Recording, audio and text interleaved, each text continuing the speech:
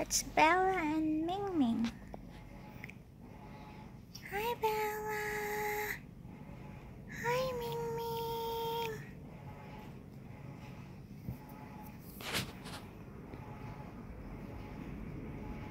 Bella is taking care of